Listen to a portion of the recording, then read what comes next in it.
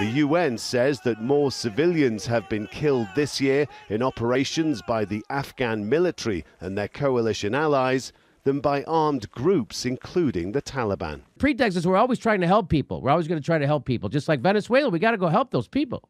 We got to help the people of Libya. We got to help the people of Iraq. We got to help these people. I have to hear one more time that you did this for the family. I did it for me. I was wondering if you could maybe just speak to um, how female soldiers were treated, and if you guys think that they were under the same social pressures as as maybe the male soldiers were, if they were exempted from that because they were female, or like it, just how this social pressures worked within females. They weren't exempt at all. I mean, my only experience was because I was uh, a scout in the combat unit. We didn't have females, but when I went to the counseling uh, sessions class or in, uh, in Germany, I heard some of the female soldiers talk about the pressures that they dealt with in their unit, and I'd say by far it was it was worse than than what I would I dealt with. The, the, these guys were all combat arms, I believe, and didn't have females in their units. As a military policeman, we had uh, 160 people in my company, and I would say about 60 of them were females because at that time, a lot of females were being told military police is about the closest that you'll get to to a combat arms. Um, so we had a, a, lot of females, especially in, in support in the support, support platoon for our company. We had um, medics with us, we had some cooks, we had supply. A lot of those different types of people were females, and um, I can say this very much so that when 60 women are surrounded by 100 men who are away from wives or the culture of bars and women here in the United States, that the pressure for them to give in and made up with a male or two or three throughout the year is extensive. Women were given their own rooms, and men were placed at the doors of these rooms to guard the women to keep them safe from the males of our units. Um, we had women who were oftentimes pawned off and treated as meat to tanker units or to scout units or to infantry artillery units. Um, we would have girls go and willingly um, sleep with some men from other units so we could get water or food or soda, and they'd come back and look what I got, guys. All I had to do was this to, to this guy. Um, women also have the added pressures of they have the ability to get pregnant. Um, some women took advantage of that, not all of them, but some of them knew, knowing all they have to do is get pregnant and I can go home. Um, so of those 60, I'd say almost half of them ended up going home before the year was over before because they, they got pregnant and could be sent out. And as a male who, when I came back and I, I became a little bitter for some time because all this female had to do was get pregnant, and I had to try to fight the military on a conscientious objection. And at that time, my mind, just like a lot of other people's, warped enough to go, man, if I was a girl, all I'd have to do is have a kid and I'd be out of here. But I had to fight and eventually go AWOL and all that. But having met um, Kelly Dougherty, a lot of the leadership in Iraq Veterans Against the War are, are women. And it's a completely different experience. Just this whole machismo thing that males have to go through, those women have to suffer through that as well. Have to learn to adapt, have to learn to be one of the guys. Or you're going to be ostracized or treated or called horrible things. If a guy sleeps with three or four women soldiers, he's cool. Woman sleeps with one male, she's a slut and she's mistreated and disrespected the entire time. It, it, uh, my female lieutenant was sleeping with my male sergeant. Um, she was demoted. He was sent to a different platoon. So you saw a lot of that as as well. Um, yeah, we have we have some female Iraq Veterans Against the War members here in here in town. I was trying to get one of them to be on the panel just to help answer these questions, but they're all busy tonight. Hopefully, in future events, uh, they'll be there to, to help share those experiences. Um, a quarter of the women in the military experience sexual trauma. A quarter of them, and that's reported. The majority of sexual traumas goes unreported. So it's it's a it's a very severe situation in the military right now, uh, especially while we're at war and, and where there's a lot less checks and balances and a lot less uh, dehumanization. Um, that there's problems. Uh, a couple years ago, there were some women that died of dehydration, and the reason why they died is because they were afraid to go get water or go to the bathroom in the middle of the night for fear they were going to get raped by their fellow soldiers. So um, it's it's a very bad situation, and every time I do truth and recruitings, we go to high schools oftentimes and talk to talk to people, and I ask, you know, how many how many people are interested in joining the service or make think it's a possibility that they might want to, and uh, I ask the same question at the end of the, the end of the thing, and I give a lot of statistics on on women in the military, and almost almost 100% of the women aren't raising their hands by the end of the end of the class. So Yeah, I mean, we don't mean to, to scare women, but the, the culture there, a- lot of women are raised in here in the United States is completely different from the military culture. And you go to the desert, and a lot of the guys aren't going to care that a woman's on her period or that she can't carry a, a 50 cal or a Mark 19 that weighs a lot. It's more than some of the females in our platoon, and, and they have to carry these rucksacks the same weight.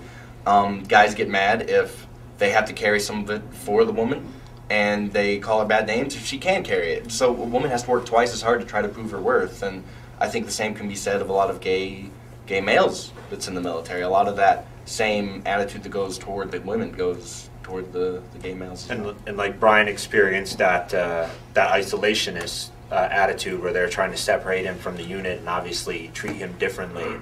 Uh, instead of the women able to band together and sort of organize within themselves to get the rights that they need or get treated better, um, oftentimes they're they're split up and they're broken up to where they often compete against each other and women start falling down onto the low end of the pecking order and they're the ones that get abused and get hurt while the other women um, you know think Special favors. yeah get special favors for falling in line and doing for, for doing what needs to be done for the male morale or, or some kind of BS like that.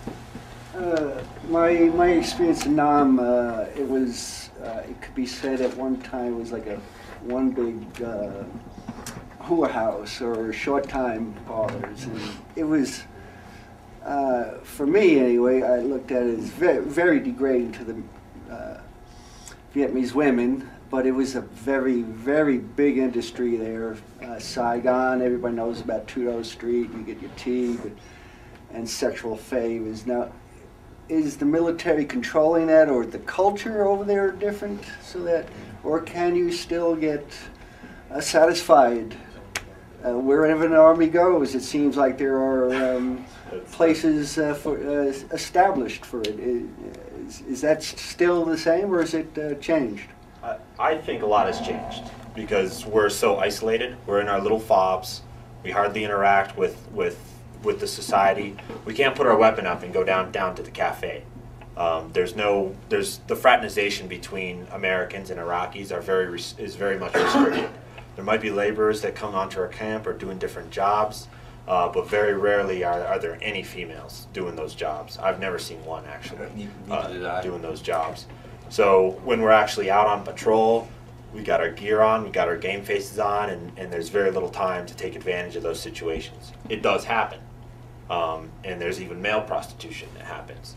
Um, but it's, I think it's, it's a lot more rare.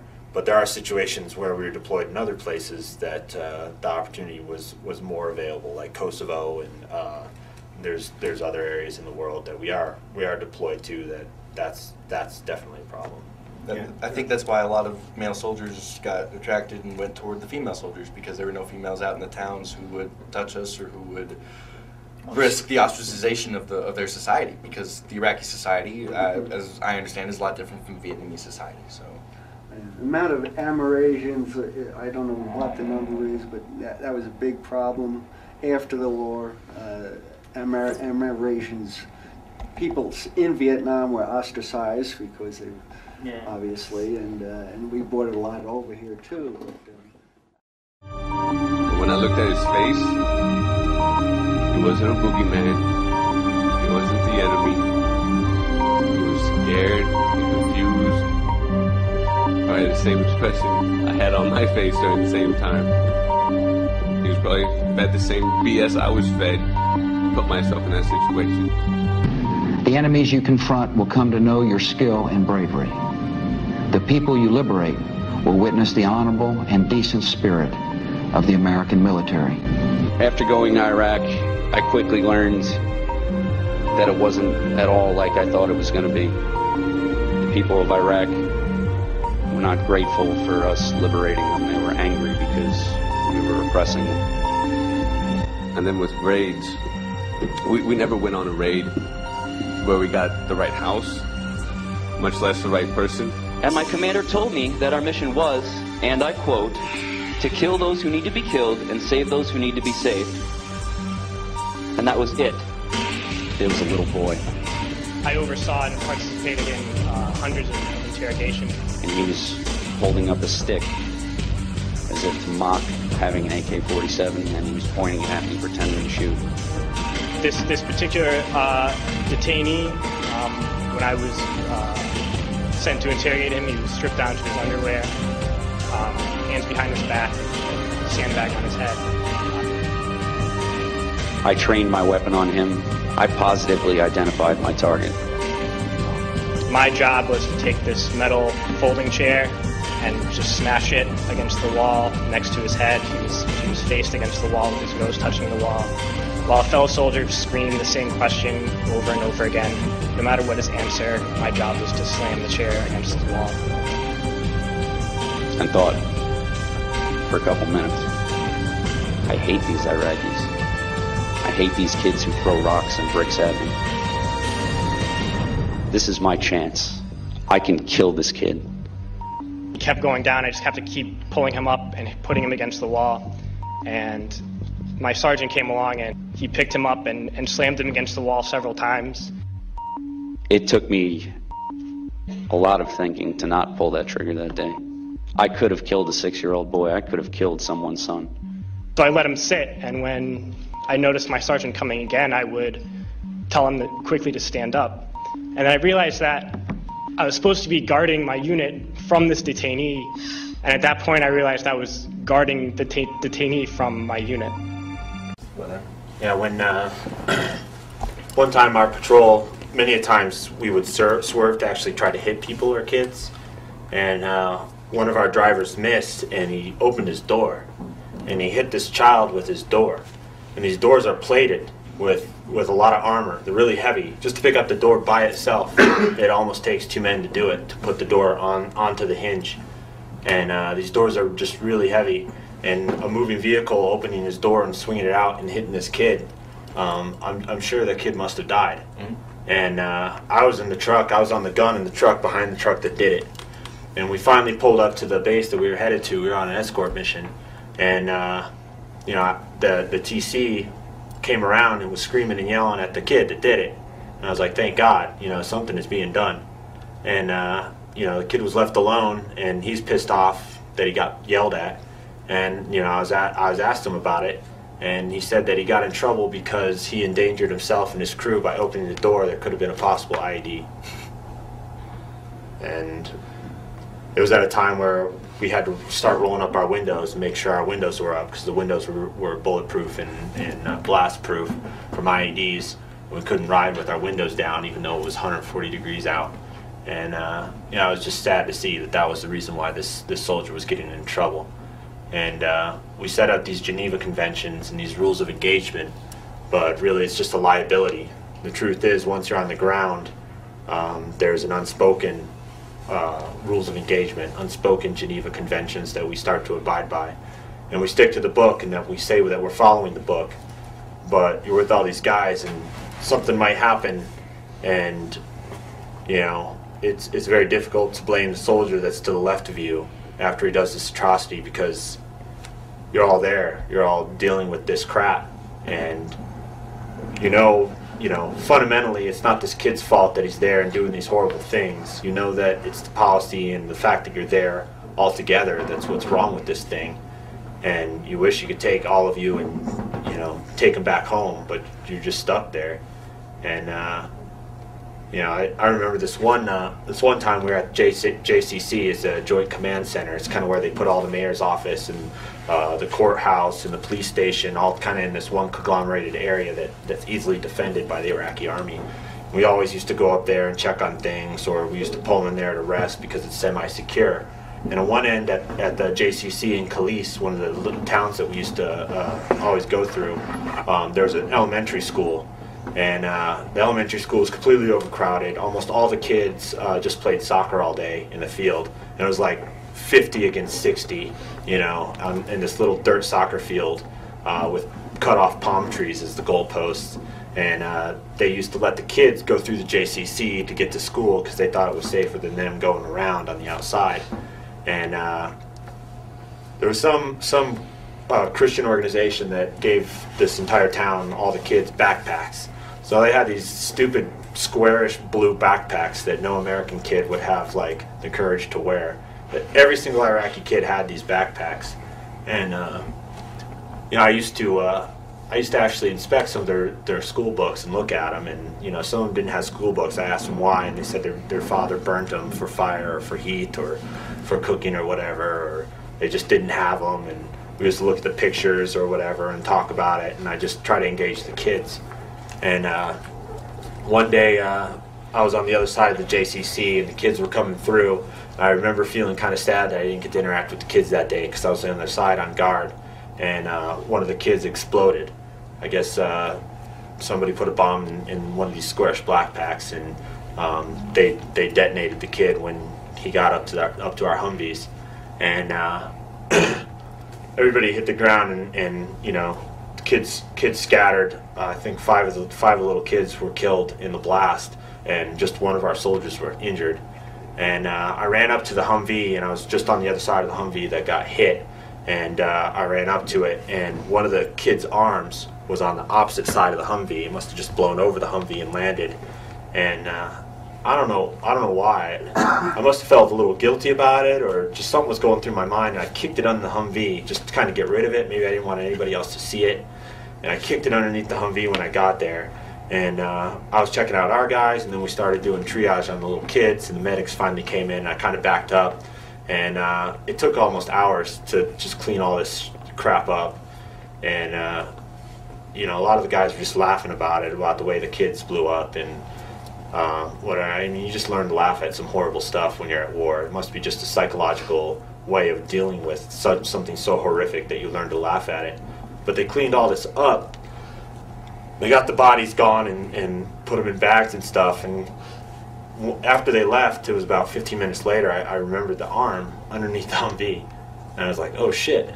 you know, they just took these kids away and all they cleaned it all up, and this arm was still there. And I looked under and I got the arm out and I showed it to my sergeant, and uh, he pointed over at the trash pile.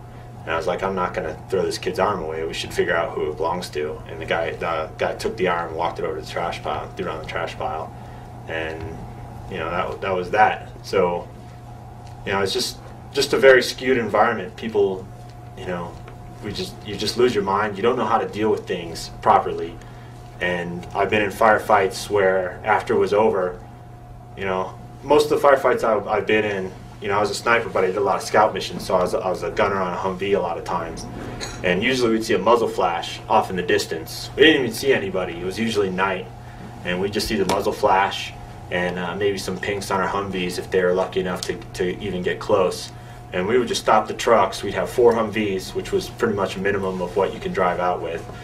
On top of each Humvee is a heavy automatic weapon, Mark 19 possibly, which is a fully automatic belt-fed grenade launcher, where you hold down the butterfly and grenades shoot out the other end at an effective range of 2,000 meters. A 50 caliber machine gun, where the bullets leave the barrel and they actually swell to the size of uh, salt shakers and uh, you know 240 Bravos that are one of the most rapid firing machine guns we have in the military all trained on wherever this muzzle flash was coming from and just shooting and engaging. And uh, a lot of times these guys would just fire off a couple shots, get down and run. Before we even stop, the guy's gone. And he must have hit her behind, you know, usually a house that didn't belong to him. And we just lit up the entire house and just destroyed the house. And we kick off on, uh, you know, after all the firing was done, you know, we kick off on little missions and just kind of raid the house. We kick in the front door, look through the area, just turn the place over usually we found innocent people inside, you know, mom and dad dead, little Johnny, little Mary dead, you know, and there's nothing you really do about it. You know, it's all collateral damage in, in the scheme of things. But that's kind of shit that sticks with you. And you go through that, and I see guys laughing, I see guys crying, I see guys praying, I see guys cursing, you know, all all have experienced the same exact thing, you know, but everybody's kind of reacting different to it. So it's it's just kind of a jumbled mess and it's chaotic and it's not like the movies where everybody's moving in an organized way. Most of our combats were, you know, where we were in firefights was basically we were all just shitting ourselves. And our training and our love for the men that we're fighting with is the only thing that keeps us in check from just turning around and running and just leaving it all behind. And you try to squeeze yourself into, you know, hiding behind a signpost that you know you can't hide behind, but you're trying, you know, you're trying the best you can. And uh, it's just a scary and uh, uh, uh chaotic mess. And uh, the rules of engagement, they go out the window. The Geneva Conventions, they go out the window if I could drop a nuclear missile on some of these towns when I was in a firefight, just of pure fear of what was going on, I would have done it just to end it all right there. And uh, these commanders that have these weapons available, like uh, white phosphorus and MK77, which is the modern day uh, napalm, um, you know, they use them because they're responsible for getting these kids home alive. And often that becomes their sole mission in Iraq one of these people that used to work uh, uh, for the United States was called General Dostum, right? Now, General Dostum is famous because he was reported several times by different news outlets, although United States buried these stories. General Dostum was was called out because he was selling people to the CIA and the American government under the guise that they were Taliban fighters. Now, people from Afghanistan know this is true. I'm not reading the comments tonight. You can look at the comments and you will, people from Afghanistan will say, yes, technique is 100% right. General Dostum was selling people to Bagram Air Force Base where they would be tortured later on and killed. And the reality is that many of these people were not Taliban, right? They were not Al Qaeda. They were simply political rivals or they were people that would not sell their businesses to General Dostum and his men. So he was kicked out of Afghanistan. They will not offer him sanctuary. Do you understand? Now, there were there were a lot of people that found a trolley car, a series of trolley cars. I do not want to compare this to the Holocaust or anything else, so please stop. This is just, we're talking about Afghanistan, right? They were trolley cars that were going to Kabul with these people. He left thousands of people in these trolley cars to die in the heat with no food and no water. Do you understand? And later on, the American government found out that General Dostum was doing this and they did nothing to prosecute him. That's why people are flocking to the Taliban. Do you understand? That's why people in Afghanistan now, many of them are willing to support the quote unquote new Taliban because they promise not to be like the old Taliban and because Americans have no idea how many human rights abuses have been done by the United States while they were in Afghanistan. Let me repeat that. They do not have any idea how many human rights abuses. People dump so much shit on men from Afghanistan. So listening to the Iraq veterans against the war speakers made me think, well, it looks like your best and brightest, nice white Christian, all American Chads just seem to start killing old women for sport within a few months of visiting the place, let alone having to fucking grow up there. So maybe, just maybe, there's something about the material and historical conditions of Afghanistan that is producing this behavior. And whatever these conditions are, the men who you have sent to save women are just as susceptible to them as the men you are apparently saving them from. Maybe it's living in a country that is relentlessly targeted by drone strikes. Yeah, maybe being slaughtered by real life sky terminators has done something to affect their society. After all, what do you tell your kids when they think they've seen a monster? You tell them monsters don't exist. So what's a parent in Afghanistan supposed to tell their kids when they know monsters do exist? and they kill children all the time, and there's nothing you could do to hide it from them, no matter how much you might want to. And not just the Americans, but maybe all the imperial interventions from various forces over the last century has meant that it's basically been impossible to have any sort of normal society. This is a country that just had a MOAB dropped on it, the largest bomb in the American arsenal that isn't a nuclear weapon. As much as it is upsetting for warmongers to hear, a stable dictatorship provides a better day-to-day life than a perpetual war zone. And dictatorships get stronger when they have an outside enemy. That's why dictatorships invent outside enemies. So if you're trying to ferment a culture within Afghanistan that would overthrow the Taliban, you've been doing the exact opposite thing this entire time. And then just going, oh, they're clinging to their ideology. Like what happened with Americans when they were under attack on 9 11? Did they get less reactionary, more open minded, more willing to question their toxic ways? Or did they freak the fuck out, get as armed as they possibly could, and kill anyone for any reason because they were terrified? And what's strange about this is that it's coming from people that are normally tuned to the most subtle microaggressions. It's the same people that will make the argument advertising spreads toxic masculinity. And maybe it does. But then the next minute they're arguing, oh yeah, let's have a drone program for feminism. Like, how does that work? If the corporate distribution of photos of oiled cleavage obviously breeds a society of hostile men, what happens when a society is so infested with drone strikes that children have learned to like cloudy days because they know the drones can't operate when there are clouds?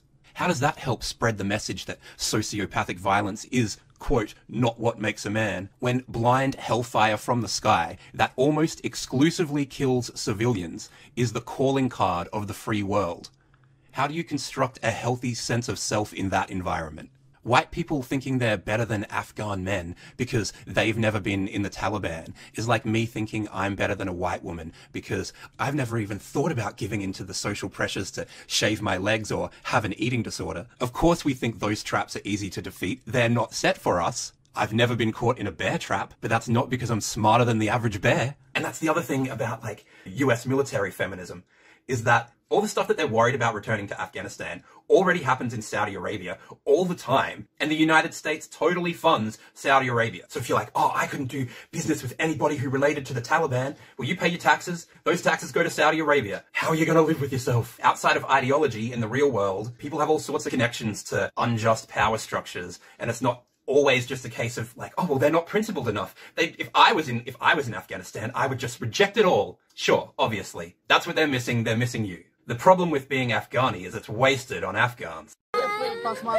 Afghanistan's military says the attack against foreign fighters was successful, but once again it seems civilians, including women and children, became casualties. With no food and no water. Do you understand? And later on, the American government found out that General Dostum was doing this and they did nothing to prosecute him. That's why people are flocking to the Taliban. Do you understand? That's why people in Afghanistan now, many of them are willing to support the quote unquote new Taliban because they promise not to be like the old Taliban and because Americans have no idea how many human rights abuses have been done by the United States while they were in Afghanistan. Let me repeat that. They do not have any idea how many human rights abuses. Right. Let's start with George Bush. George Bush gave people free range to do whatever. There was no criminal prosecution for any of these people. They received what they call a captain's mast, right? Which is when they're judged inside the, the sanctity of their own unit and they don't face international war crime charges. Boom. During Mr. Obama's tenure, right? Let's talk about Obama, since people think he's such a progressive. 90% of the drone strikes that took place in Afghanistan. Let me repeat that for the people that are upset and think that sometimes I just talk about one side or the other. No, y'all could both get it tonight. You could both get the whole 40 with the backwash, stupid. Mr. Obama's drone strikes were 90% towards civilians. Do you understand me? I want you to look that up for yourself. The man that exposed the drone program, he's in prison right now, right? He's in prison right now, just like Julian Assange and these other people that exposed that 90% of the drone strikes were against people that were non military targets and civilians. Also, let me be clear the drone strikes were not guided by intel. You say, Technique, what do you mean they weren't guided by intel? Brother, the drone strikes were guided by metadata. Do you understand what that means? I'm going to repeat that again. The drone strikes, right, were guided by metadata. That means who has your phone? What if you gave your phone to your son? What if you sold that phone to someone else, right? When I was in Afghanistan, the people that protected me, that took care of me, um, I'm making sure that they land in a safe place now, right? The embassy was called. We had to speak to the U.S. government. People went off or made went above and beyond the call of duty to make sure that they got out, right? All the kids from the orphanage, except one, got out. All the I say that again for people that are asking me about the orphanage and how those kids are. Those kids, every single one of them except one, got out and went to India in order for them to be safe. And one of them, his name was Wahid, rest in peace. His brother was murdered by the Taliban. And he joined the army out of a sense of honor. And Wahid became a martyr because he was killed by them. So don't you ever fucking tell me how to feel or, or how to process any of this. Do you understand me? And if I feel hurt like this, if I feel fucked up over Wahid's death that I've never talked to you fucking people about, I can only imagine how the Afghans feel. I can only imagine how people that I built this little kid's bed, man. You understand me? I built this little bed.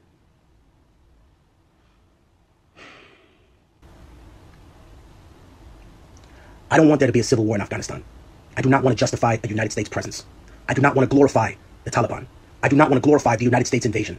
None of them deserve to be glorified. Okay? I told you a long time ago that before bin Laden ever supposedly attacked the United States, he lost his soul a long time ago because he murdered children that belonged to a group of people called the Hazara, right? Which are an Asiatic uh, Muslim uh, uh, Afghani people from the north part of Afghanistan. And they have been oppressed for very long because they happen to be Shia and because they have an Asiatic look to them. He murdered Hazara children with his fake militia outside of Mazar Sharif.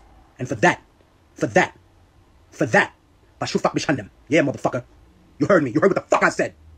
You heard me?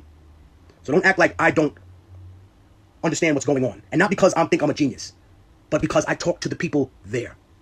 Also, I, I want to say something else about our presence in Afghanistan, the United States presence. They claimed that they had faulty intel every time that they dropped a bomb and it killed innocent people. But I want to explain something to you. When I went to Afghanistan, I was shown bin Laden's old hideout, right? Everyone knew in the area, right? Everyone in Nangarhar knew where he was. We were near Jalalabad, near what they call Waziristan, right? And when I went there, the people that were there showed me the house that bin Laden had lived in when the Clinton administration tried to bomb him. And I saw this house, and something that struck me and made me think for a long time, and I hope you think about it too. They bombed these weddings and they bombed these these these hospitals, which so happened to be run by people that were opposed to the American uh, occupation. Is that a coincidence? They made it seem that way. But here's an interesting part. The house that Bin Laden stayed in, right? They bombed not only the room that he was in, but they bombed the side of the room that his bed was in. He just happened to not be home. Hmm. you get that now? They're very precise when they want to be, and they're very imprecise when they don't want to be. And there have been so many horrific war crimes, right? In Afghanistan, committed by the committed by Australia, committed by England, and committed by the United States. Afghanistan's military says the attack against foreign fighters was successful, but once again it seems civilians, including women and children, became casualties. Sources in Helmand province say the victims were attending a wedding party on Sunday evening when they were attacked. As the rescuers attended to the dead and injured, a crowd gathered at a local hospital waiting for any news. A plane arrived and bombarded the wedding ceremony and some nearby houses, including my own. Around 50 to 60 people were martyred, and 50 to 60 others are wounded. This attack follows another last week in eastern Nangarhar province, when a strike said to be targeting an ISIL hideout killed dozens of villagers working nearby. Afghan civilian deaths in coalition operations have long been a contentious issue, particularly because of the sophisticated weaponry used by NATO and US forces. Even with them having, with all the precision um, weapons and all the, you know, the, the up-to-date latest technologies, the civilian casualties were unavoidable. Of course, uh, the underlying uh, uh, requirement for all of this is good intelligence if you don't have good intelligence, uh, often what happens that you ending up um, you end up uh, targeting civilians. The UN says that more civilians have been killed this year in operations by the Afghan military and their coalition allies than by armed groups, including the Taliban. A report just published by the Ministry of Health has further highlighted the problem, showing that in the past year, 3,300 civilians have been killed and another 16,500 wounded. Rob McBride, Al Jazeera, Kabul. Here's Nancy Pelosi just released a statement about the uh, Afghan women. Ready? We are deeply concerned about reports regarding the Taliban's brutal treatment of all Afghans, especially women and girls. No, you're not.